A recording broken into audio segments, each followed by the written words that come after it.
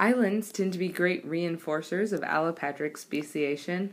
Not only are the populations geographically isolated, the environment on the island can be very different and encourage more rapid changes in the alleles due to natural selection. So, on islands, or this also applies to after mass extinctions, um, you can observe very, very rapid changes in the rate of speciation, mostly because of adaptive radiations from a single ancestral species adapting to fit many niches that are unoccupied by other organisms. So, islands may not have as many organisms taking up as many niches, and obviously, after a mass extinction, you would have a lot of different roles in the environment that were not occupied, and so you may see one organism take over and expand its characteristics to fit a lot of different roles. And each of these changes is it's still a slight change. It's normally, you know, disruptive selection. It's, you know, changing from one thing to two slightly different things, and over time you get this huge diversity. So we saw this when um, on Hawaii there were there was a weed-like species, but no trees. And so that one weed like species, which on the mainland of the United States is only a weed like grassy species, was actually able to evolve into woody shrubs and trees because they didn't have that competition. Um, Darwin's finches evolved lots of beak types to suit various food sources on the Galapagos. We've seen insects evolve into many different species based on food sources. Plants can change based on their pollinators. There are so many examples of this sort of speciation from moving into a habitat that has these new opportunities.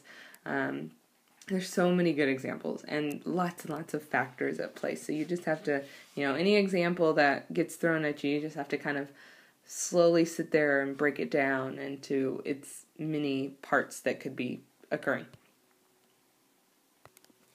Sympatric speciation can often begin with a single population undergoing disruptive selection, just like I was talking about with the adaptive radiation if you're an insect, for example, that selects its mating location based on the smell of a particular fruit or a particular plant where you were born, you're only going to mate with others born on that particular plant. So, you know, a parent insect may select that plant, lay their eggs, more members of that species will come back there, let you know, mate, lay eggs there. But what if one is somehow attracted to a different sort of fruit. Well, now it's changing not only the type of fruit where it lays its eggs, it's changing the mating location because if all of those young insects kind of imprint the smell of that fruit and that's where they return to mate, now you've got separation, physical separation for the mating location. So it might change the timing based on how that fruit grows and matures, and it's going to set up a lot of opportunities for prezygotic isolation because now you have this whole different group of insects. And obviously, I just changed the color just for an example, but that one change in egg laying behavior was all it took to sort of start to diverge these populations into two different species. Plants commonly form new species in the same area by polyploidy, so you could have a single diploid individual. So here you can see the diploid number. I'm just showing you the chromosomes. Um, the diploid number is 6. And by duplicating all its chromosomes, it could become tetraploid.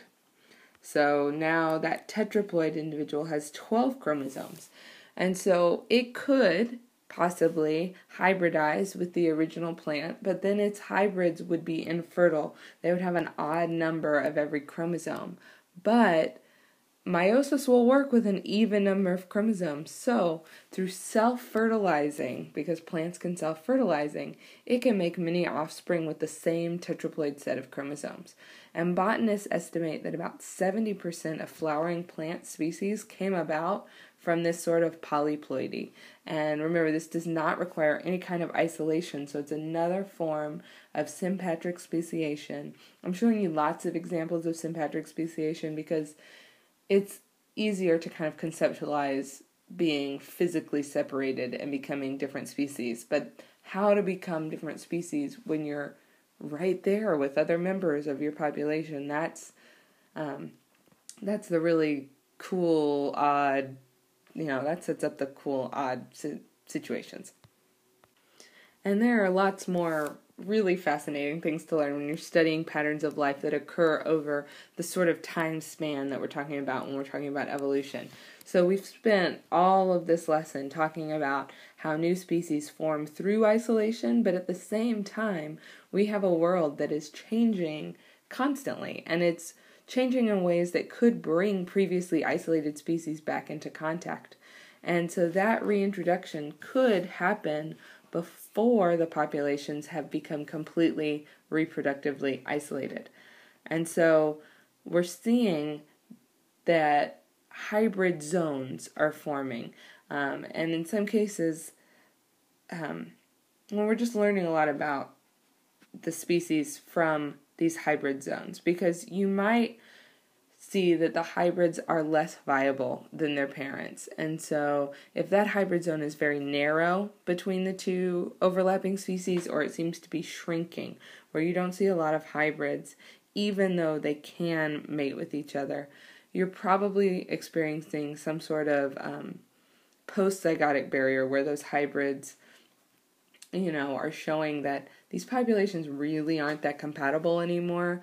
Um, but if you see that both hybrids are thriving, then you might be seeing that those populations could still be considered members of the same species that are producing viable offspring and offspring with more genetic diversity, which is why they're thriving. And so, in that case, that's when we start to change species names and we, we rethink the current classification of species. And this happened with um, mountain lions and cougars and all the, you know, large cats that were native to different parts of the United States, we found out that they were actually all different subspecies but the same species. And so we've gone back and changed their species name so that the Latin name shows that they're actually all Puma concolor. They're all the same species. So there's so much we can learn when when these you know, going out in the field and studying what's happening and trying to piece the puzzle together. Um, and these hybrid zones allow us an opportunity to take a look at that. And there is lots more cool stuff to learn, but that is it for today.